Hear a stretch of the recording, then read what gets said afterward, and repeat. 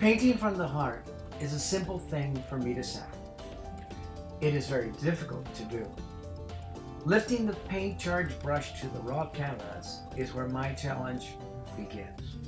And it is where things can go terribly wrong. In the privacy of the studio, my ego is safe.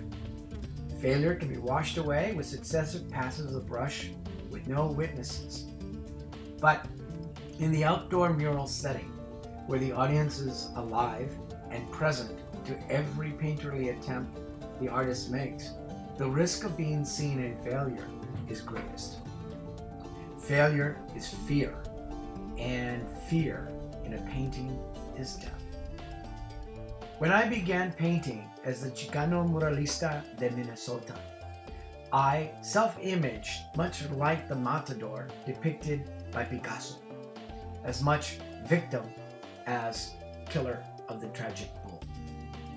Risking failure with the brush in plain sight of the audience requires a ruthless courage. My mural experiences have led me to impose a commitment to paint as if every swing of the brush was in the public eye. What I have done with the paintings in this exhibition is to imagine that I painted them in front of the attentive and informed community. My paintings are not intended to be a personal and private experience, but instead meant for the, for the heart of the community to share in their daily life. Painting to create a communion with the viewer leads me to focus more intently on the truth of the action of the brush. Among critically astute fellow painters who have come to know my work is the opinion that you can tell a Longoria in an instant and with only a fraction of the whole painting. I celebrate that recognition of my commitment and tend to ruthlessly, ruthlessly explore my cultural identity.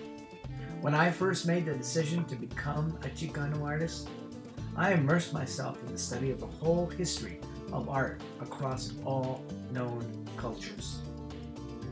At first, the survey of its many forms and dialects overwhelmed me, but using the idea that Chicano art would be a small and confined base for the work of aesthetic investigation gave me comfort. With dedication and focus, I could make a contribution to the evolution of Chicano culture. The result has been more challenging than I had imagined. I have purposely not included my work in the general investigative venues of other Minnesota artists so that I could stay true to the idea that Chicano art needed to be created in a distinct and recognizable hand.